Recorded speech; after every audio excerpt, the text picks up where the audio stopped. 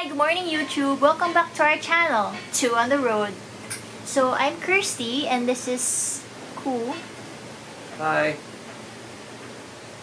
And welcome back to Road to Minimalism. Uh, so far, nung last episode natin, ginawa natin was magtanggal ng mga boxes, tsaka mga cables, and mga sirang gamit. At the same time nun, medyo na nasobrahan namin yung pagligpit. Nag-open na kami ng mga containers. Roll po tayo nung last episode. What are you getting there?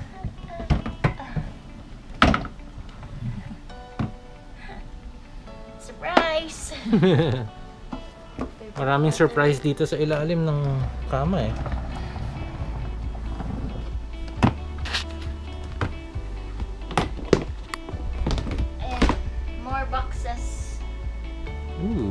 Boxes.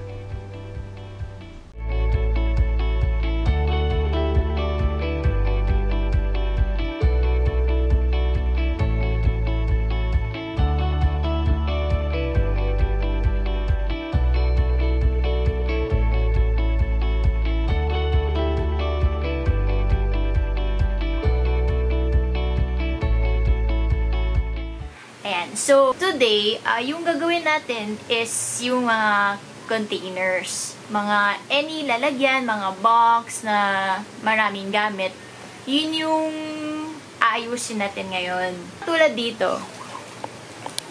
Etong box, syempre punong-puno to. And so far, ito na yung natanggal natin sa loob galing dito. And I know uh, marami sa atin na sobrang dami mga mga boxes, mga container, kahit anong mga lalagyan. Medyo nakagulat kung titingnan mo siya as a whole. So, isa-isahin muna natin. Like, katulad dito. Ito muna yung in-empty natin. So, yung goal natin for this box is dapat hindi natin ibalik lahat ng ito dito yung goal natin is at least maging half na lang yung laman nito or one-fourth. So, sa loob ng boxes, ayan, may mga empty boxes ulit. Ayan, mga empty boxes. And kung may mga silang gamit ulit, tapon nyo na rin yun. Tapos ito, mga papel-papel. Ayan. Yung gagawin natin is per box muna tayo, yung isang box, ilabas natin lahat. Tapos, yung ibabalik nyo lang is yung importante sa inyo, yung may value, or yung ginagamit nyo talaga, Or kailangan. or kailangan nyo. Ayan. So, stay tuned. Okay, so, na-empty na natin yung box kanina. Tapos, sinort out na rin namin yung mga gamit galing sa box. So, ito, yung mga ibabalik sa box, mga um, photo, uniform, so toothbrush, and mga malilit na bags. Ito, yung mga pwede na nating i-alisin. So, may mga papel-papel, mga box, may sirang bags din, and natuyo na na wet tissue. So, ito yung next problem natin ngayon sa pag-sort out ng box. Yung laman ng maliit na box ay mga wedding stuff namin. So, paano niyo isa-sort yung ganyang klaseng bagay? ba? Tingnan niyo na lang kung ano yung like pinaka-memorable. Pwede niyo pang um, magamit or like like ganito. Ayan. So wala na to, wala na to eh. Extra na lang to na gupit-gupit na ribbons. So pwede na tatanggalin. Or ganito. Pwede na rin tong tanggalin.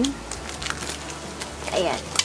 Kung, kung may friends kayo na mahilig mag-art, so pwede nyo baka ma magamit nila or kung sino naman pwede nyo din i-donate. So, ayan, mga ito yung mahirap i-let go or hindi ka sure kung paano ba talaga i-keep. Pero I'm sure naman din na sa loob ng yan, meron talagang pinaka gusto nyo talagang panghawakan forever and meron ding pwede nyo na palang um, pakawalan. So, ito pala mga poppers. Oh, so, aanohin natin yung mga poppers ngayon. Uh, well, for us, hindi naman magagamit bawal yata dito poppers din eh. So, so kung may friends kayo na pwede mas gumamit niyan, so okay din. Ayan. So, just keep on sorting. Uh, well, I don't know if nanood kayo ng Marie Kondo, pero parang sabi niya, does it spark joy sa inyo? Ganyan. So, ito, itong plastic na to, does it spark joy? Eh, hindi, di ba? So, ito mga flowers, mga boutonnieres ito eh. Does it spark joy? Yes, kasi memorable. So, pwede nyo isort. Itong mga candles, mukhang hindi na siguro magagamit or we'll see. Pero, Pwede natin gamitin pag brown out. ayan, pwede natin gam- gamitin kapag brown out. Pero, it's up to you. You just have to touch it, eh, hawakan nyo, i-feel nyo kung may ano, spark of joy pa ba yun sa inyo. Basta yung goal nyo is huwag niyo ibalik lahat ng ito, lahat. Huwag niyo ibalik lahat. Kung may pwede kayo ibigay, mas okay yun. Makakatulong kayo or mapasayan yung friends niyo. So, ayun. Basta yung gold is huwag ibalik lahat ng gamit sa mga container. Welcome to this beautiful mess. Tatlo na yung, well, apat na yung na-empty na boxes. Tapos, itong isang maliit, aayusin pa yan. Oops! Pero, so, four na yung na-empty na box. Yan, isa. Itong pangalawa. Tapos, yung pangatlo. And yung pang-apat, nasa ilalim na, naayos na namin. Hey guys, ito na yung last na biggest box namin to sa unit. Tapos, isusort namin to and then papakita namin mamaya yung sorted out na ng mga boxes. And then, ito yung items na pwede pang magamit.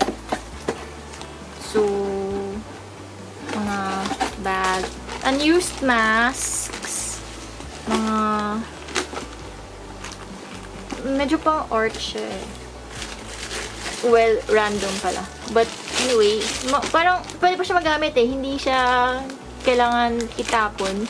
So, hanapan ba natin kung paano ma-sort. Ito na po yung outcome sa ating pag-sort ng mga lalagyan natin. So, total na, na empty natin na lalagyan is 1, 2, 3, 4, 5, 6. 6 po yung total na in-empty natin, sinort out. Tapos, ito na po yung final product. Sorted items. So, naging tatlo na lang po sila. Hindi naman siya ganun kapuno. Maluwag na siya compared sa before. And ito na talaga yung uh, ginagamit talaga namin. So, dito, yung mga pang-printer, mga chargers, pang camera attachments. Dito naman, para sa mga biyahe namin, mga waterproof bags, and extra bag. Tapos doon, sa malayo, is may tripod, tapos mga pang games, tsaka may uniform din ako dyan. So, yan na lang po yung naiwan na sort out na, na mga gamit natin galing dun sa anim na boxes. So, itong tatlo, kasya na sila sa ilalim ng ating higaan.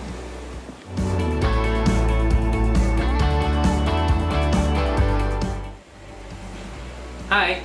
So, yun yung naging episode natin today, no? Kung napansin nyo, mostly si Kirsty nagsasalita kasi forte niya yan, yung pag-aayos. Dito sa bahay, walang ginawa yan. the entire day ko hindi mag-ayos lang na mag-ayos. Like, pag may nakita siyang things na hindi magka-align, ganun, i-align niya. Kaya pag may mga kalat ako na nakita niya dyan, alam mo minsan tatalikod lang ako, pagharap ko, naayos na niya. So, ah, sobrang laking advantage for me, no? Na yung asawa ko, eh, mahilig mag-ayos. Kasi ako, hindi naman ako makalat talaga. Pero, hindi ako kasing ayos niya. Yan lang masasabi ko. Sana may napulot kayo dito sa episode na to. And kung nagustuhan nyo, please click the like button and subscribe. Hanggang sa susunod, bye!